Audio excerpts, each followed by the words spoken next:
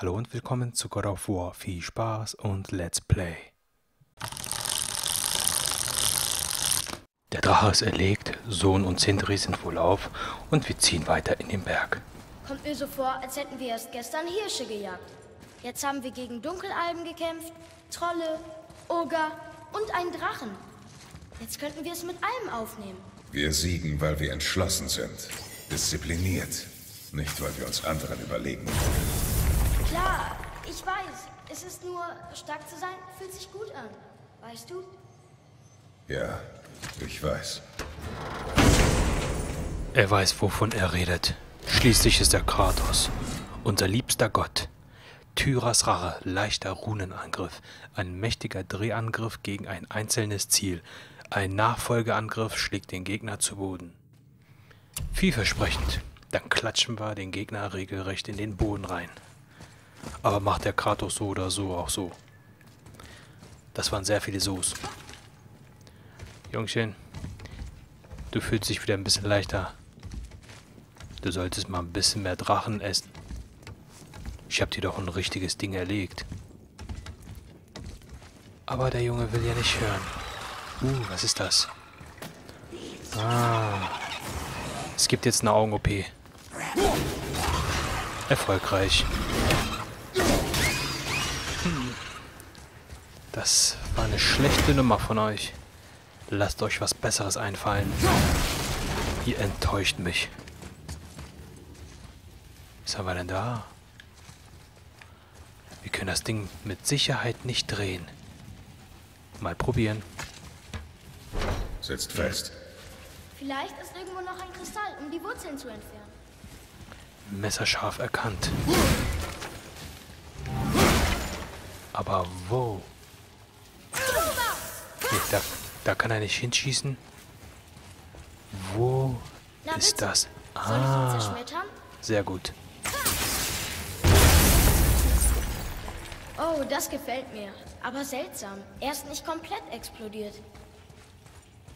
Das soll uns nicht weiter interessieren. Ich habe auf den Kristall geschossen, aber er leuchtet schon wieder. Mal sehen, was passiert. Junge, da drauf schießen. Oh. Zwei Augen Entfernung. Ne, das hat nichts gebracht.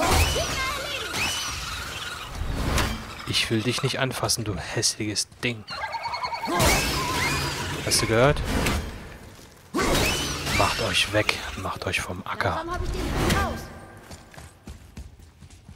Müssen wir das Ding noch höher drehen? Nö, wir probieren es erstmal hier lang. Komm, Jungchen. Wir haben einen weiten Weg vor uns. Wo führt dieser Weg hin? Ich habe Angst. Es ist dunkel. Mach mal ein bisschen Licht hier. Puh. Der Horror hat ein Ende. Oh, was ist los? Du liebst mich? Nein. Wird nicht akzeptiert. Komm runter, du feige Sau. Was willst du denn? Uh, das macht Spaß. Ich habe lange schon meine Fäuste nicht benutzt. Bleib liegen. Hey, Glibberauge. Wie geht's? Hm. Das war's für ihn. Sein Augenlicht wurde entfernt. Gibt's hier? Nix. Kein Geheimnis. Kratos möchte eine Denkaufgabe haben hier, um seinen Sohn zu beeindrucken. Aber ich glaube, der ist sowieso beeindruckt von uns. Wo ist das Ziel? Das können wir da nicht zerstören. Oh, danke, ihr kniet nieder. Ja. Noch welche Fragen? Ich glaube nicht. Ja, dann tun wir's. Sonst fallen wir in Gnade.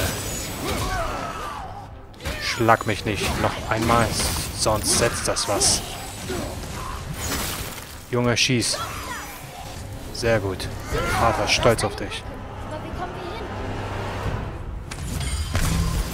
Nur Geduld, Junge.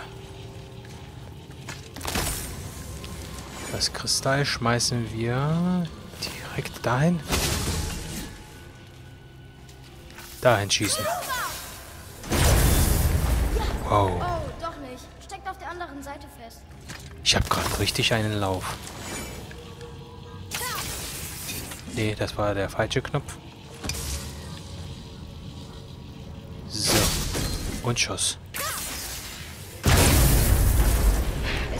Toll, damit Dinge zu zerschmettern. Ja, ich weiß, macht richtig Spaß. Sehen wir da irgendwo irgendetwas? Nee. Ich habe Hallos.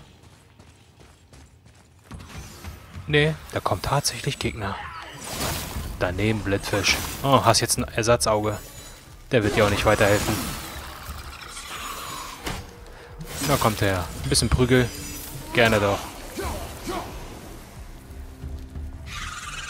Hier. Uh. Zu langsam, Opa.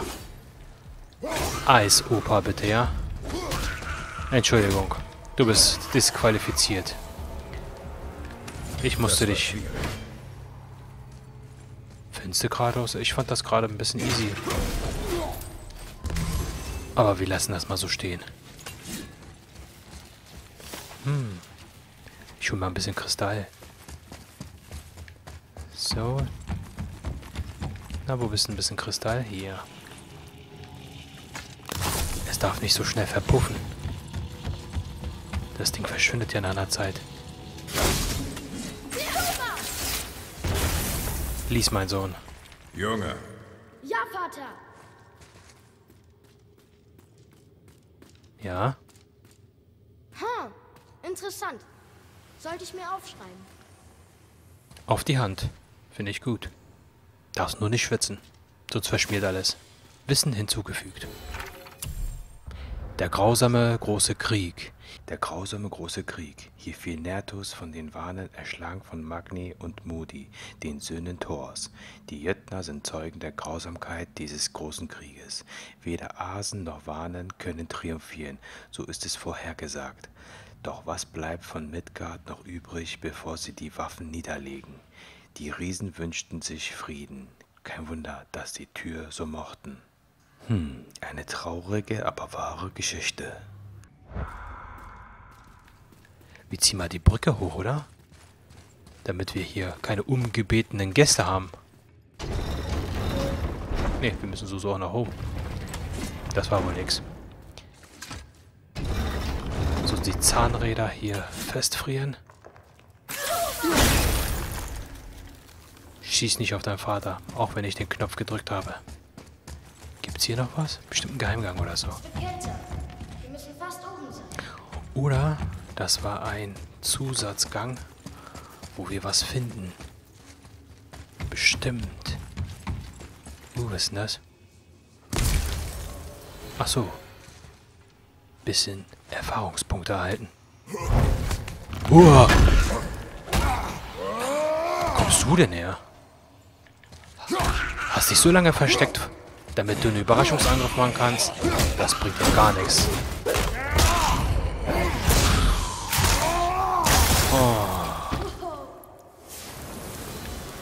Wir möchten ein bisschen Eiswürfel haben. Jede Menge davon. Keiner kommt zu kurz. Da.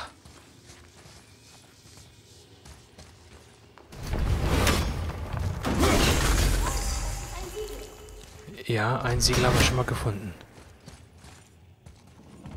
Junge, such die anderen zwei Siegel. Daddy muss irgendwie wieder hier runter. Ähm. Kann ich einfach. Oh, ich kann einfach runterspringen. Das ist gut. Aus dem Weg. Entschuldigung, ich wollte dich nicht schubsen. Gibt's hier noch ein Siegel? Irgendwie. Ah. Das zweite Siegel da drüben.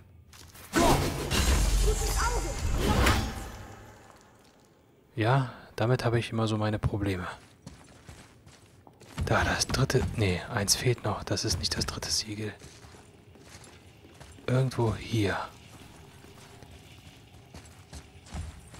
Oh, ich habe hier noch was gefunden. Ah, geprägtes Wappen der Bedrohung. Nicht schlecht. Als ob die Leute nicht schon Angst genug vor mir haben. Noch mehr zusätzliche Angst. Kann nicht schaden. Ah, noch ein bisschen Kristall nehmen.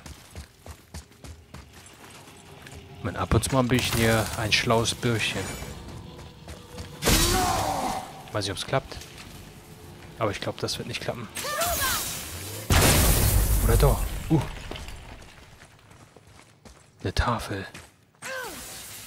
Lies mal, Jungchen. Hier ist noch eins. Heißt Dimir. Mutter wollte mir von ihm erzählen, aber ich war wohl zu jung. Kommen da Riesen aus seinen Achseln?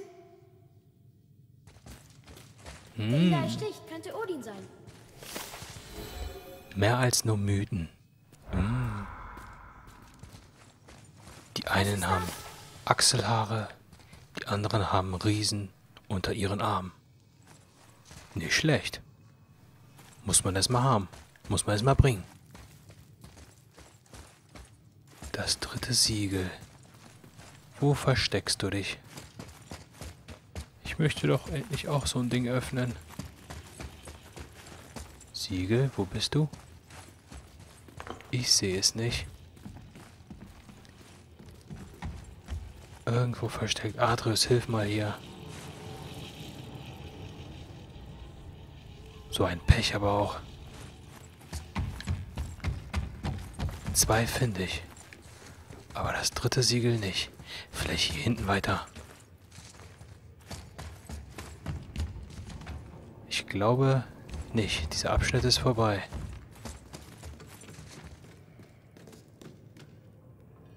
Kuckuck, bist du irgendwo hier, Siegel?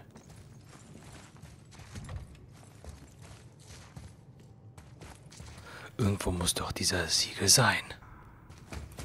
Wir geben nicht auf. Ich glaube, ich vermute, Atreus, komm her. ich möchte dir den Highlight zeigen. Irgendwo muss das doch hier sein. Alles andere kann doch nicht sein. Dritter Siegel. Huh, da. Ich werd wahnsinnig.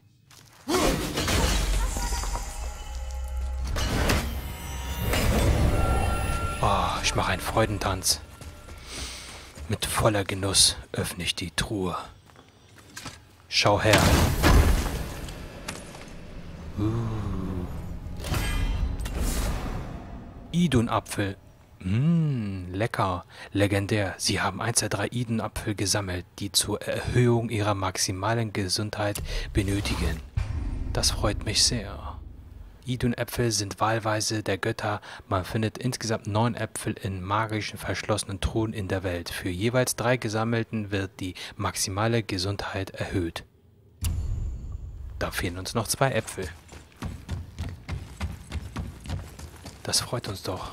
Na, dann öffnen wir noch weitere Truhen. Oh. So, jetzt gehen wir aber hoch. Du darfst den Apfel nicht essen. Nicht mehr lange, Mutter. Nein, Junge. Ich verspreche dir, es wird alles gut. Wenn ich das Ende noch nicht mal kenne. Uh, Da, der Gipfel. Wir sind ganz nah dran. na,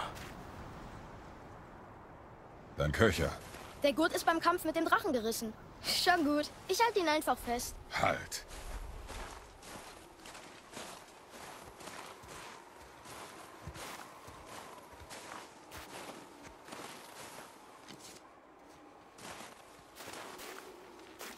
Ein kaputter Köcher kostet dich Zeit. Schmerz überleben wir, kaputte Waffen jedoch nicht. So geht's erstmal. Gut? Gut. Geh. Langsam, Junge. Pass auf, wo du hintrittst. auf zum Gipfel. Oh, ihr schon wieder. Winterschlaf vorbei? Da habt ihr aber einen schlechten Instinkt. Der Winter ist noch lange nicht vorüber. Danke, Junge. Oh. Schön die Fresse polieren. Deine... Ja, das machst du sehr gut. Lass mich auch mal.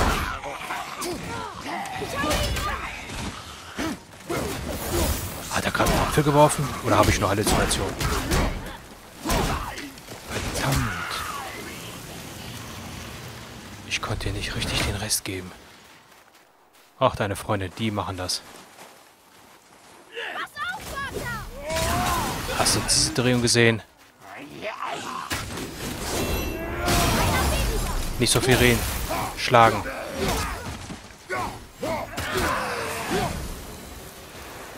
Ich war gut, oder?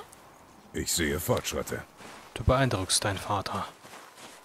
Mich jedoch nicht. Oh, Freundchen. Was hast denn da?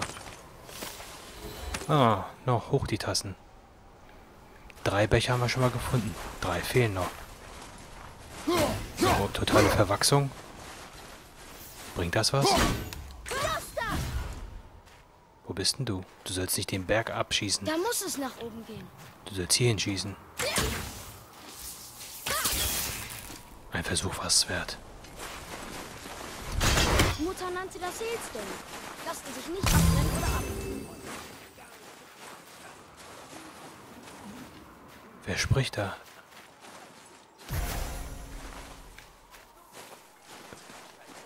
Quatscht doch jemand. Du hörst die Stimmen auch, oder?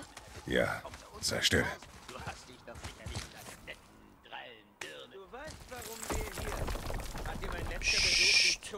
Das ist der Mann, der bei uns zu Hause war. Du hattest ihn doch getötet. Ich sehe, bist du diesmal nicht allein. Muss wichtig sein, wenn die Söhne Thors mich mit ihrer Gegenwart beehren. Sagt mal, überschlagt ihr zwei euch noch immer, um Papa zu beeindrucken? Der tätowierte Mann. Den Spuren nach reist er jetzt mit einem Kind. Wohin wollen die beiden?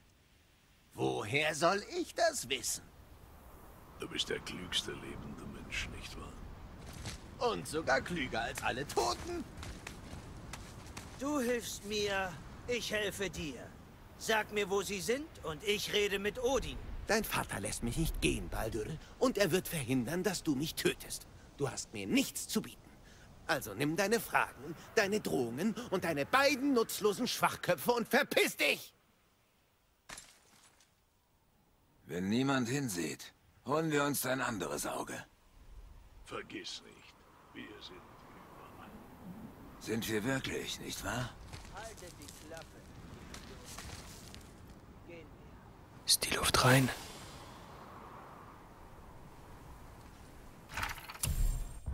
Baldur. Baldur, einer der Asen, Odins Sohn, Thors Bruder. Er kam zu unserem Haus, kämpfte gegen Vater und wurde von ihm getötet. Dachten wir. Angeblich spürt er keinen Schmerz. Na, das ändern wir mal schnell. Jetzt jagt er uns mit seinem Neffen, aber wir wissen nicht warum.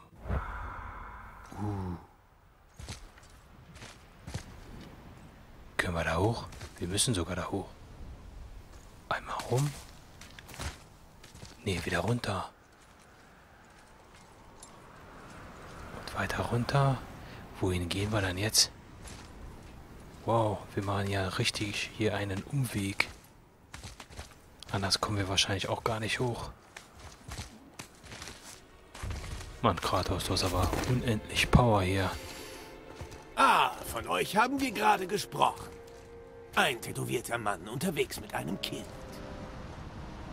Geh und stell sicher, dass wir allein sind. Aber sie sind doch gegangen. Tu, was ich sage. Ein sprechender Baum. Ich werd nicht wieder. Er weiß nicht, was du bist. Und dabei soll es auch bleiben. Wer bist du? Ich? Ich bin der größte Botschafter der Götter, der Riesen und aller Wesen der neun Welten. Ich kenne jeden einzelnen Winkel, jegliche Sprachen, geführte Kriege und jeden Handel. Man nennt mich Mimir, den klügsten lebenden Mann. Und ich habe Antworten auf all eure Fragen. Warum jagt uns der Sohn Odins? Na gut, ich habe ein paar Wissenslücken. Aber Odin hält mich hier gefangen seit 109 Wintern. Ich bin sehr schlau. Ich finde die Lösung. Versprochen. Ich brauche nur etwas Zeit. Es ist niemand da. Hab ich doch gesagt. Die Mutter des Jungen ist tot. Sie wollte Wir das... sollen ihre Asche verstreuen. Auf dem höchsten Gipfel aller Welten. Oh, dann seid ihr hier am falschen Ort, kleiner Bruder. Der höchste Gipfel aller Welten ist nicht hier in Midgard. Er ist in Jötunheim, der Welt der Riesen. Nein! Hat sie das wirklich gemeint? Sieh doch.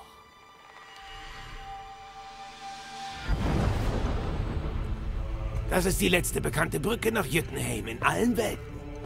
Siehst du den Berg, der aussieht wie die Finger eines Riesen? Das ist der Gipfel, den ihr sucht. Nicht hier. Was ist mit dieser Brücke? Wir haben einen Bifrost. Als die Riesen die Brücken zu ihrer Welt zerstörten, haben sie diese hier mit einer Rune versperrt. Wenn es sie noch gibt, kennt die nur ein Riese. Und alle haben Midgard vor langer Zeit verlassen. Richtig. Doch heute haben die Schicksalswinde einen Wirbel des Zufalls erzeugt. Wisst ihr, es lebt nur eine Person, die euch an euer Ziel bringen kann. Und ihr habt Glück. Ich habe sonst nichts vor.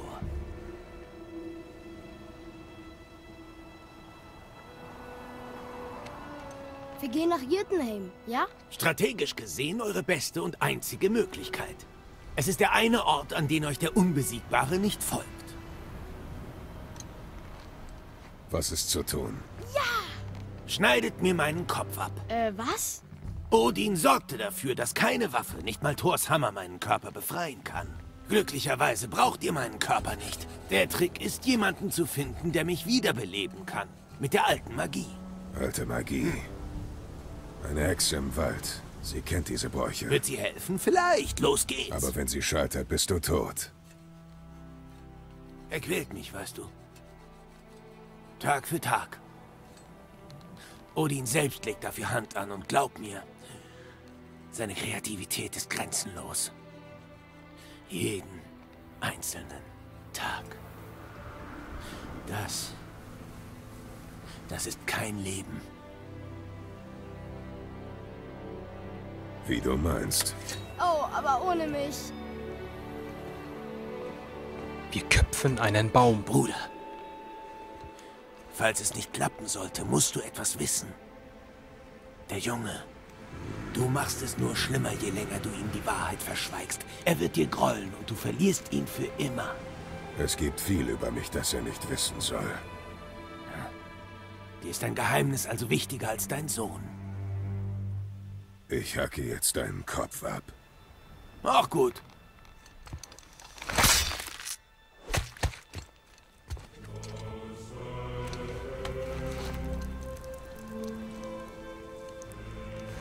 Kurz und schmerzlos. So schön in Tüte verpacken, damit auch nichts daneben geht oder daneben tropft. Jötunheim. Wir gehen nach Jötunheim. Wir finden das verloren geglaubte Reich der Riesen. Das ist... Das ist... Sehr lästig. Ja, das wollte ich auch gerade sagen. Im Inneren des Berges. Mission abgeschlossen. Vielen Dank fürs Zuschauen und bis zum nächsten Mal.